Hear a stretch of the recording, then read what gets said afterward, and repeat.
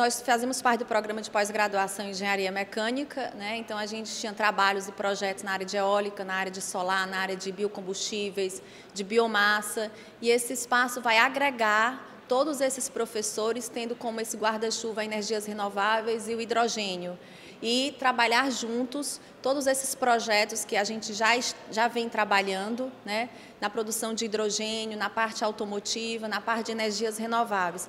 Isso representa algo bastante importante não só para a academia, mas para a própria indústria e para a própria sociedade, onde aqui a gente vai conseguir formar alunos tanto de graduação como de pós-graduação, mostrar coisas práticas para ele, desenvolver bastantes pesquisas nessa área, principalmente no nosso estado, né, um estado que é tão rico nessas fontes né, renováveis, que tem um campo tão grande para atuar. Né? Então, esse laboratório vai servir como uma fonte de projetos e de capacitação.